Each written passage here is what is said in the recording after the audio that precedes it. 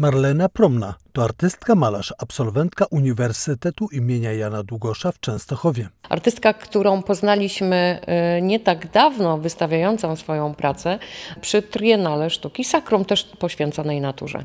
E, Obecnie w wystawie indywidualnej pokazuje e, sposób e, malowania i postrzegania samej przyrody oraz natury. Ogrody są inspiracją dla niej ogromne. I tak jak w tej części wystawy pokazuje, jak wnika malarsko w te ogrody w różnej perspektywie.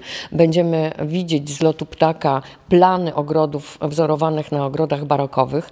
To geometryczne kształty w różnych kolorach, mm, nie tylko y, pięknie skomponowana grafika, ale przede wszystkim y, projekty y, zieleni widziane z góry w y, planie poziomym, ale również w tej części wystawy, w innych poziomach postrzegania ogrodów widzimy je bardziej z przodu, bardziej pokazane kuliste kształty bukszpanów, y, czy też y, zieleni traw z różnymi elementami wnętrz tych ogrodów, e, jak również wnikamy w tą zieloność, czując się troszeczkę jak owad, widząc jeszcze dookoła e, drgającą mm, energię tej zieloności. Marlena Promna to także absolwentka Akademii Sztuk Pięknych we Wrocławiu.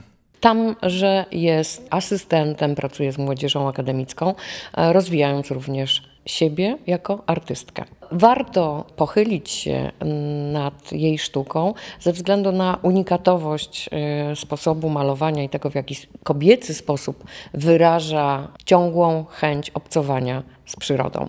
Artystka, co ciekawe, nie inspiruje się fotografiami e, pejzażu, przyrody, maluje z głowy, czyli to, co zapada jej w oczach, w pamięci, w głowie, jest inspiracją do tego, aby w wielkoformatowych e, obrazach przelewać za pomocą e, farb i kolorów. Zachęcam serdecznie wszystkich oglądających, złaknionych już zieloności.